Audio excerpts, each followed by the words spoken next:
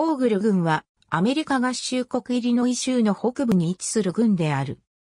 2010年国勢調査での人口は53,497人であり、2000年の51,032人から4.8%増加した。郡庁所在地はオレゴン市であり、同郡で人口最大の都市はロシェル市である。オーグル郡はその全体でロシェル小都市圏を構成している。オーグル郡は1836年にジョーデービース郡とラサール郡の一部を合わせて設立された。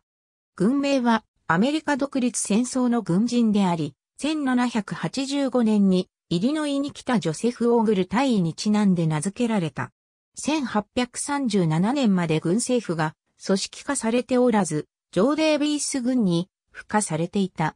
3年後の1839年に軍内からリー軍が設立された。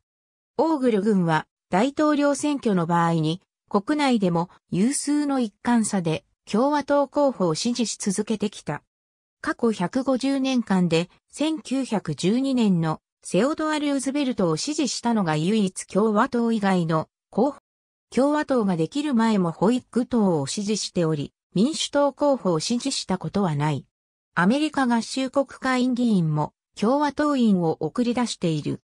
オレゴン市にあるオーグル軍司法センター、軍庁舎の通り向かいにあるアメリカ合衆国国勢調査局によれば、軍域全面積は762.98平方マイルであり、このうち陸地758.57平方マイル、水域は4.41平方マイルで、水域率は0.58%である。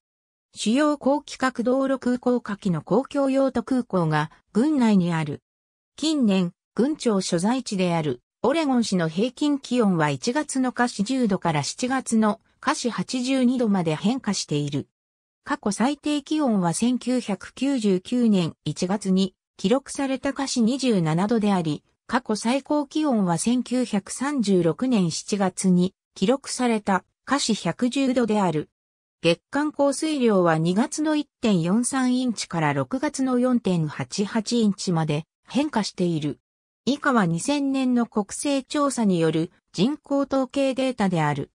2000年時点で軍内労働人口の65%はホワイトカラー労働者として雇用されており、この数字は1990年の統計と比較して20ポイント上昇していた。製造業が労働人口の21.7%を受け入れて、首位を走り続けてはいるが、1995年の30.4%からは減少している。2015年にはサービス業が製造業にとって変わると予測されている。農業も重要な経済分野である。主産品はトウモロコシと大豆である。2003年、イリノイ州農政省によれば、農産物の生産校で州内第17位、畜産物の生産校では同14位になっていた。畜産物では豚が首位であるが、1998年の5万7000頭から2002年には4万8900頭に減少した。